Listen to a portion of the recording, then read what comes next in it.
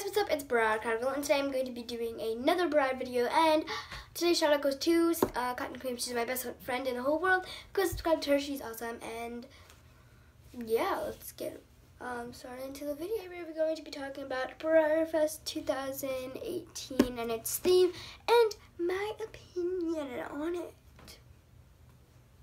Yeah. so, my opinion is, I'm not the biggest fan. Not the biggest fan of horse racing. I honestly think it's cruel. That's your opinion, though. Um, I do like the theme. I think it's a good fit for the park um, and Kentucky. um, but um, I think it's a good fit for BreyerFest. And if you didn't know, the theme is off to the races. I should have said that first. Um, but, however, um, I think it's more interesting if they do like a place or like a country or like a, like something like that. You know, uh, last year was Gateway to India. The the the year before that was um, I went to that BreyerFest. I don't even know where it was. I remember celebration or something. It was Rio something. I don't know. I forgot. I'm sorry. Um, but yeah, and then it was um, France in 2015, and I actually have some of here. Me.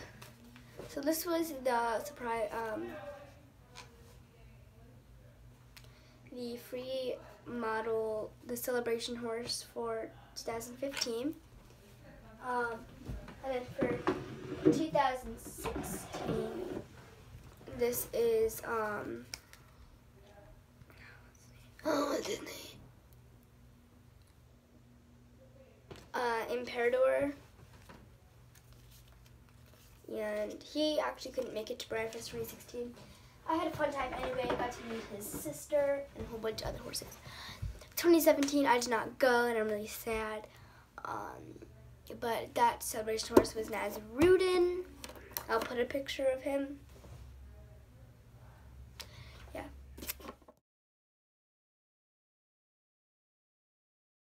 Um, I think that the surprise model is going to be the ruffian mold. Either, um, here, I'll just take American Pharoah. It's, so this is American Pharoah. He's in the ruffian mold. I have ruffian, but she's on her stand, and I don't, oh, yeah, yeah. Here she is. Thank God that was, I can't even.